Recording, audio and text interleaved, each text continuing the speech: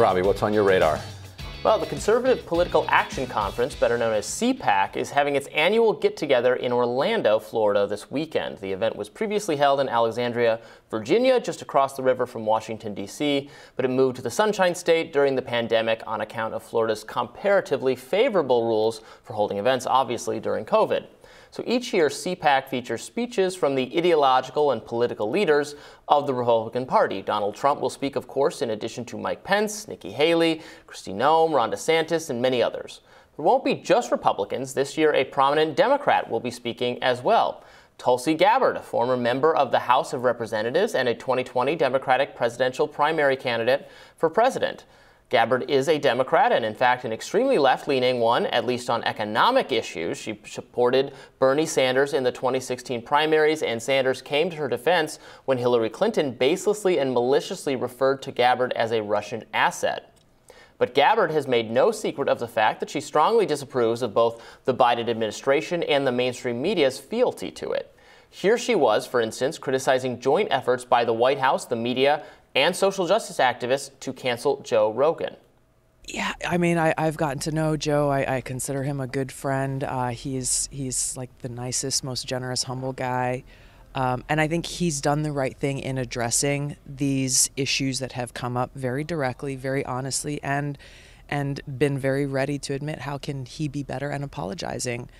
Um, I think it's what we would hope to get from from anyone, really, and I think how not only a lot of the kind of corporate response has been, uh, but also, frankly, the White House inserting itself into trying to cancel Joe Rogan points to the bigger issue, which is uh, really the attempts by by the power elite trying to silence and cancel people who dare to question the establishment narrative, who dare to uh, maybe hold a different view, uh, and and that response, trying to cancel people, silence them, and smear their character, is the age old tactic. I've been on the receiving end of it, so I know exactly how that feels. And it, it is so dangerous because it, it undermines free speech in America. So in that clip, Gabbard made many of the same points that Ryan Kim and I have actually also raised on this show. That doesn't suddenly turn her into a Republican any more than defending Rogan has turned my co-hosts into Republicans. There should be room to criticize liberal censorship and the Biden administration's social overreach within the left. It doesn't make you a traitor to the party. Criticism of one's own side can be a healthy sign partisan dysfunction has so broken our brains, so forced us to excuse or ignore everything that's wrong with the tribe in which we've casually be- become involuntarily associated with, we're conditioned to see introspection as a kind of disease. It's not, it's exactly the opposite. Nevertheless, Twitter was abuzz with sarcasm yesterday. Countless Democrats saying the mask has finally slipped. Tulsi is outing herself as a Republican. Democratic activist Charlotte Clymer said Tulsi was returning to the mothership. Occupy Democrats said that Tulsi was never really a Democrat. Liberal news website The Daily Beast wrote that it, quote, may seem unusual for a Democratic politician to headline such an event, end quote. Well, here's the problem with all of that. There's actually nothing new about any of this, nothing whatsoever. Major party political events have frequently included speeches by political figures from the other party who happen to be critics of the prevailing orthodoxy or the leadership on their own side. Do you remember Zell Miller? Miller was governor of Georgia throughout the 1990s. Then he was a U.S. Senator from 2000 to 2005. He was a Democrat who gave the keynote address at the 1992 Democratic National Convention. But 12 years later, Miller, still a Democrat, endorsed George W. Bush for reelection and was a keynote speaker at the Republican National Convention, disagreeing substantially with Democratic nominee John Kerry. Now, we don't have to go all the way back to 2004, of course. The virtual 2020 Democratic National Convention included a speech by former Republican presidential aspirant John Kasich. The- I'm proud of my Republican heritage. It's the party of Lincoln, who reflected its founding principles of unity and a higher purpose. But what I have witnessed these past four years belies those principles. Many of us can't imagine four more years going down this path. And that's why I'm asking you to join with me in choosing a better way forward. I believe the best of America lies ahead, but only when we rediscovered our shared belief in the United States of America for our children's future, which can be bright, hopeful, and inspired if we choose to make it so. The only major difference between Kasich speaking at the DNC and Tulsi speaking at CPAC is that the inclusion of Kasich infuriated many progressive activists who apparently would like their coalition to be as small as possible, whereas the GOP seems for the most part extremely welcoming to Tulsi. She's feeling more affinity for the Republican Party these days. Can anyone blame her?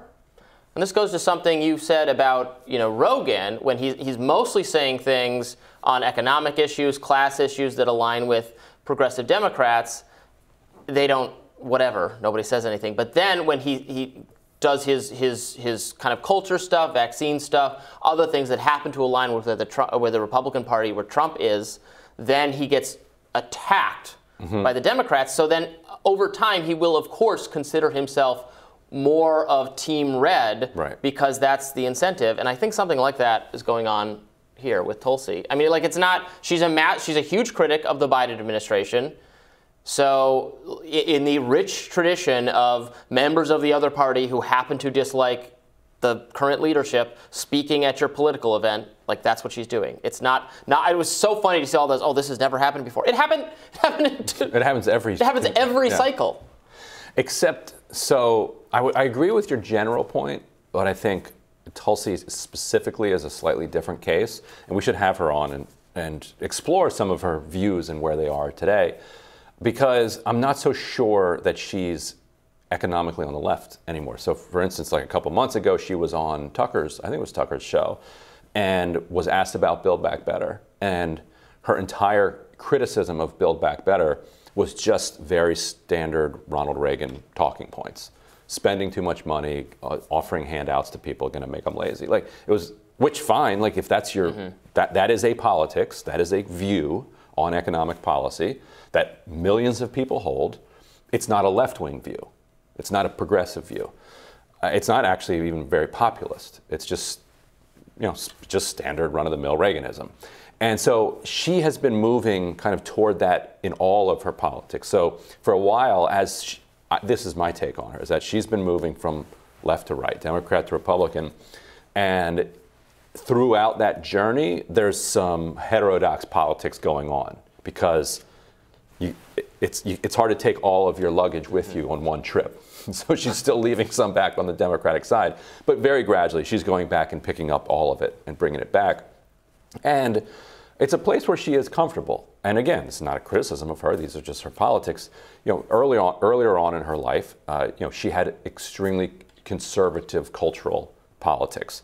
Some of those remained throughout her career, even as a Democrat, specifically around uh, uh, Islam and the, the West's relationship with Islam and her support of the global war on terror.